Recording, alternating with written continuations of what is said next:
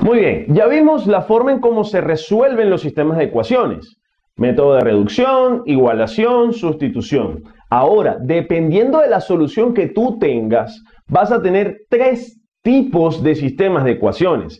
Se le conocen como los sistemas de ecuaciones que tienen solución única, que tienen infinitas soluciones o que no tiene solución alguna. También se le llaman compatibles e incompatibles. Compatible determinado, compatible indeterminado, consistente, inconsistente. Al final son nombres que le colocan a esto, ¿de acuerdo? De eso vamos a hablar en este video.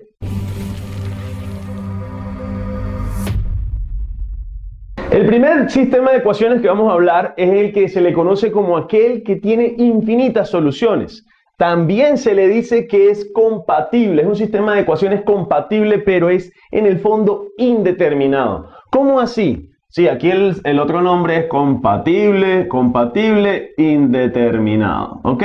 O escríbelo completo si lo quieres anotar. Ahora, que tenga infinitas soluciones, tienes que tener algo de cuidado. Este tema, aquí en álgebra, se habla que son sistemas de ecuaciones. En funciones se le llama a esto que es una función lineal, ¿cierto? Que tú tienes aquí una expresión lineal y básicamente lo puedes representar como una recta cuando lo graficamos. Y en geometría analítica, como ecuaciones de rectas que tú vas a intersectar. Las tres tienen que ver y tienes que tener mucho cuidado con eso porque son conceptos que están entrelazados entre sí y dependiendo del tema que tú ya manejas, puedes conectarlos sin ningún tipo de problemas. ¿Ok? Ahora, estos dos sistemas de ecuaciones, cuando tú intentas hacer la solución, te puedes percatar que va a quedar una igualdad sin variables y la igualdad se cumple, ¿de acuerdo? Tú agarras acá, por ejemplo, aplicas reducción, la de arriba la multiplicas por menos 2, quedaría menos 6x menos 12y menos 6. Y cuando tú haces la suma, todo se va a anular y queda 0 igual a 0. Puede quedarte 0 igual 0, 1 igual 1, 3 igual 3, menos 5 igual menos 5. Lo importante es que la igualdad se cumpla. Cuando tú llegas a un sistema de ecuaciones donde llega y obtienes esto, no te asustes, puede pasar. Se le llama que es un sistema de ecuación que tiene infinitas soluciones. No importa qué par de valores de x tú utilices, no importa qué par de valores de x y de y tú utilices, cuando lo sustituyes en la de arriba, te va a dar, te va a cumplir. Y cuando lo sustituyes en la de abajo, también te va a cumplir. Lo importante es que los mismos, el mismo par de valores de x y y que colocaste aquí arriba también lo coloques acá abajo y la, la, solución va a cumplir. Al final son dos sistemas de ecuaciones que se le dicen que tienen infinitas soluciones. En ecuaciones de rectas, que ahorita vamos a, eh, vamos a tener básicamente los videos ya listos y preparados para que tú también puedas ir de un tema a otro. En epsilonacademy.com lo puedes hacer también de manera organizada. Mira que básicamente en ecuaciones de la recta a esto se le llama que son rectas que tienen la misma pendiente.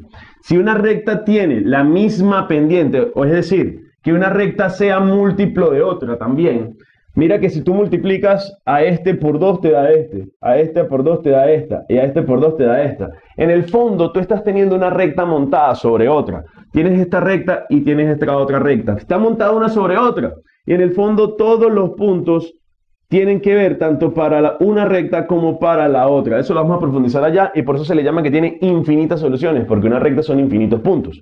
Entonces, en el fondo, cuando tú tengas este tipo de sistema de ecuaciones que te dé esta igualdad, se le conoce que es un, un sistema compatible indeterminado o que es un sistema de infinitas soluciones. En el fondo es que una sea múltiplo de la otra. Cuando tú te percatas y dices, mira, este valor, si divides este entre este, te va a dar lo mismo que este entre este y da lo mismo que este entre este. Mira que 6 entre 3 es 2, 2 entre 6 es 2, 6 entre 3 es 2. Y cumple automáticamente, es un sistema que tiene infinitas soluciones. Vamos con el siguiente. Este sistema se le conoce como el sistema de ecuaciones de solución única o compatible determinado. Es un sistema de ecuaciones de los tradicionales, cuando tú lo resuelves y consigues un valor para x y un valor para y, y se resuelve sin ningún tipo de problema, lo puedes hacer por reducción, sustitución, igualación, método de Kramer, el que tú quieras utilizar. Pero para este tipo de sistema de ecuaciones se le dice que es de solución única, tú agarras y consigues acá, haciendo el sistema que tú quieras, x igual a un valor y y igual a otro valor. Tiene solución única. Mira que este y este, mm, eh, si ves la relación, este es el doble de este, pero no cumple acá, ¿de acuerdo? Y acá son diferentes. Entonces tú cuando vayas a hacer el sistema de ecuaciones aquí, vas a encontrar un par de valores. En ecuaciones de la recta, cuando, cuando hablamos de ecuaciones de la recta en geometría analítica, estas dos son dos rectas que al final, cuando tienen solución única, es porque se cruzan en un punto. Allá lo detallamos mucho mejor, ¿ok? Entonces te invito a que le eches ese vistazo a ese tema también. Entonces mira que básicamente aquí, cuando tú tienes solución única, se le conoce como compatible determinado, sistema consistente, nombres que se le colocan a esto, pero es el típico sistema de ecuaciones donde tú vas a encontrar una solución. Gráficamente son dos rectas que se pueden representar y ese par de valores es el punto que sea, que va a ser XY en un plano cartesiano, donde va a ser el punto donde se intersectan esas dos expresiones. Esto se puede modelar sin ningún tipo de problema en la vida cotidiana, cuando tú tienes una gráfica del crecimiento del dólar, por ejemplo, con la gráfica del decrecimiento de del barril de petróleo. Entonces, ¿en qué punto valen lo mismo? ¿En qué punto el dólar y el barril de petróleo, suponiendo es un ejemplo, valen lo mismo? Y, si son dos rectas, tú haces un sistema de ecuaciones para encontrar ese, ese punto donde vas a tener una variable en el eje de las abscisas y un resultado en el eje de las ordenadas. Entonces, en el fondo, eso es lo que significa un sistema cuando tiene solución única. Vamos a hablar ahora del tercer sistema de ecuaciones cuando no tiene solución. En el caso de un sistema de ecuaciones donde no haya solución, se parece un poquito al que vimos hace un momento que eran de infinitas soluciones. El de infinitas soluciones, cada término era uno múltiplo del otro. Aquí pareciera ser así, pero no es completamente igual. Mira que este es el doble de este, casi que coloco el mismo ejemplo. Este es el doble de este, este es el doble de este, pero aquí no cumple esa relación. En ecuaciones de la recta hablamos de la pendiente que tiene cada una de estas expresiones para saber que la pendiente es la misma, pero son dos rectas que están separadas entre sí en el plano. Allá lo detallamos así. Aquí, básicamente, cuando tú haces el sistema de ecuaciones, si en infinitas soluciones se cumplía la igualdad, te daba aquí literal algo igual a ese mismo algo cuando eran infinitas soluciones, aquí algo te da igual a otra cosa. Entonces, no cumple la igualdad. Cuando tú quieres hacer este sistema de ecuaciones, mira que básicamente si multiplicas esto por menos 2, todo esto por menos 2, 6x con menos 6x se van y quedaría 0. 12y menos 12y se van y quedaría 0 del lado izquierdo cuando tú sumes.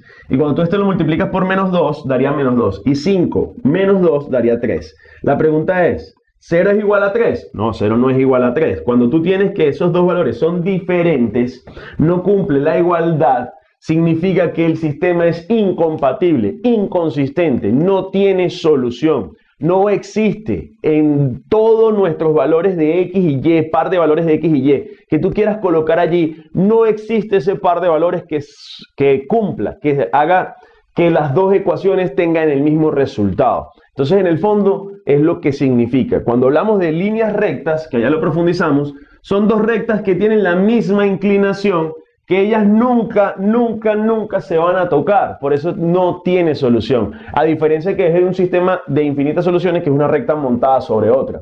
Tiene la misma inclinación y una recta montada sobre otra. Acá Básicamente es porque son dos rectas paralelas que nunca se van a tocar. De eso quería conversar en este video, los tres tipos de sistemas de ecuaciones, qué consideraciones tiene y a nivel práctico tiene ciertos elementos que hay que tener muy presentes para poder implementarlo. Entonces, pilas con esto, ¿qué significa que sea incompatible, que sea compatible, que sea de solución única, infinitas soluciones, que no tenga solución? Depende de, la situación que tú tengas a la mano, qué es lo que debe, qué es lo que deseas y debes implementar y eso lo hacemos en epsilonacademy.com en la parte práctica. No te pierdas esos cursos donde vas a poder engranar estos conceptos con ejercicios, ¿de acuerdo? Entonces, si entendiste, si te gustó, ya sabes lo que tienes que hacer. Nos vemos entonces en el siguiente video. Chao.